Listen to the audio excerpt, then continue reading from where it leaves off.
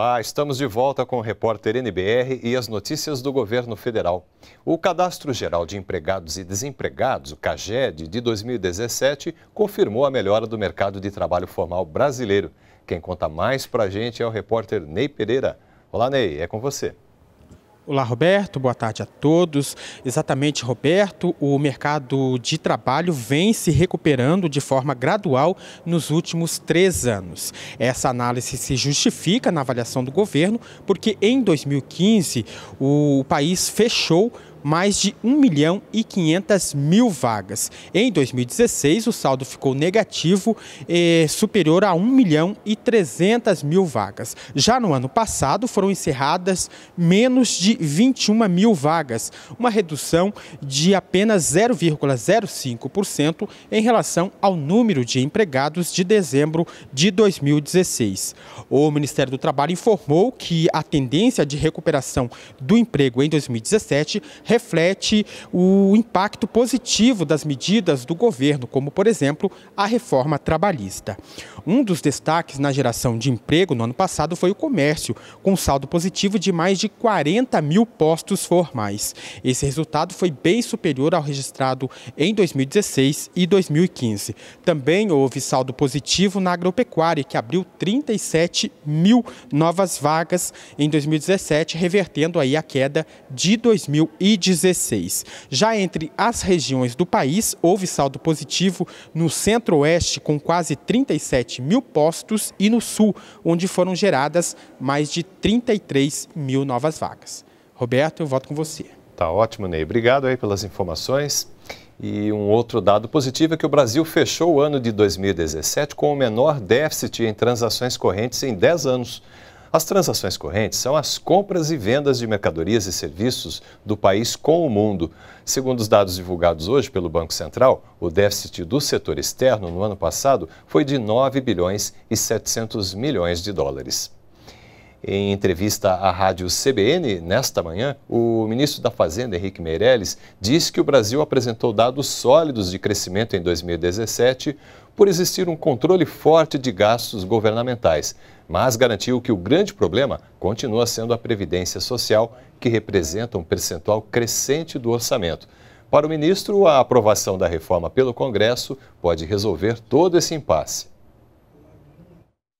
Fica claro de que o grande problema é a Previdência, isto é, uh, os gastos uh, da Previdência uh, representando um grande percentual do orçamento da União e crescente. Não há dúvida de que é absolutamente necessário que se faça a aprovação da reforma da Previdência para que as despesas possam ser controladas no futuro, porque são, a Previdência são despesas obrigatórias que crescem uh, sem possibilidade de controle do Executivo, são despesas fixadas pela Constituição. O substitutivo a, a, que está atualmente em discussão do plenário da Câmara é um substituto, substitutivo, é um plano bastante equilibrado, justo, correto e que e, uh, estabelece uma maior igualdade entre não só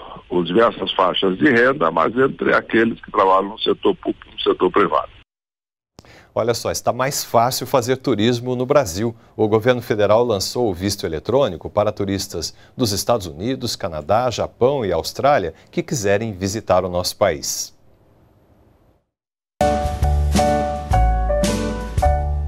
Cidadãos dos Estados Unidos que quiserem visitar o Brasil para passear e também para negócios podem solicitar o visto de entrada no país por um sistema totalmente eletrônico.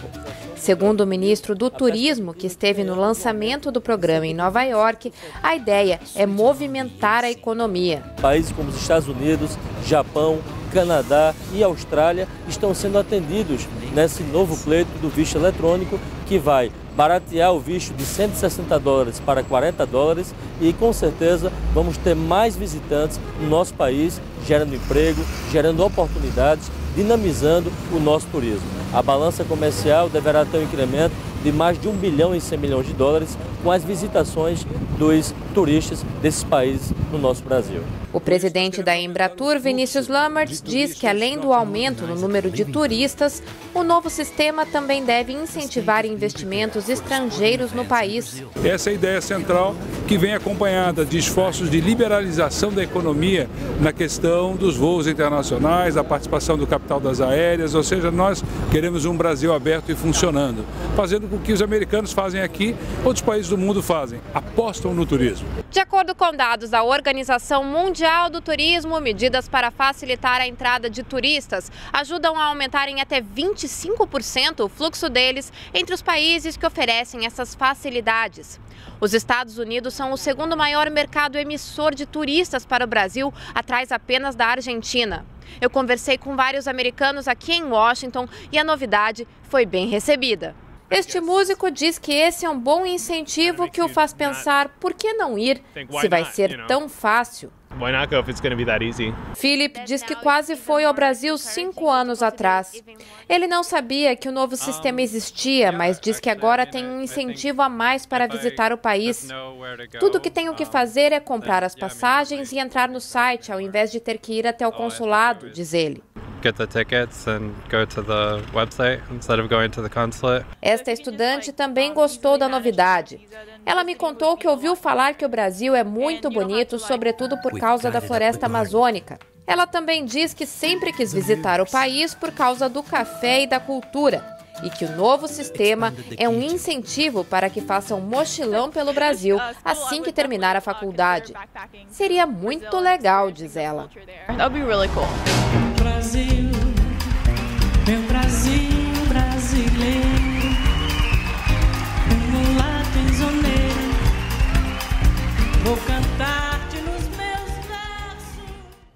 Nós ficamos por aqui. Você pode rever as reportagens no YouTube. Voltamos às três da tarde na próxima edição do Repórter NBR. Uma boa tarde para você. Continue com a gente aqui na NBR, a TV do Governo Federal.